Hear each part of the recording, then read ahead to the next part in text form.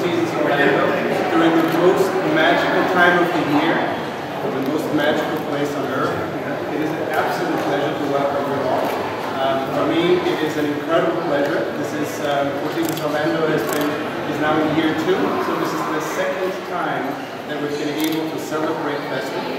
Last year, we've, um, we've just started out. This year, we had the help of a lot of your elves that came and decorated our lobby areas and public areas outside, lit up, of course, the entrance. And it's been incredible to see the returning guests, particularly from last year, who's made it now a tradition to come to this place during this time, and of course the ones who are trying us for the first time.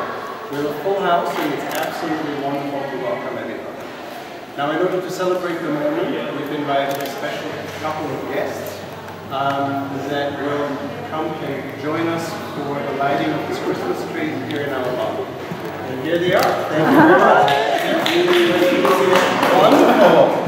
Thank you very much for coming and joining us and honoring us. It's wonderful. We're so glad to be here. Hi, everybody. We have over Mickey Mouse, myself, and over 74,000 passengers right here at the a Resort. We're so with you in the city. Happy holidays to everyone.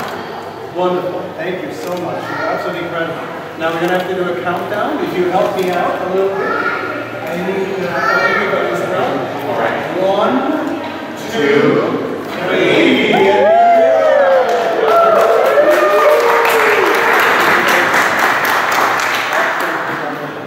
Thank you, everybody.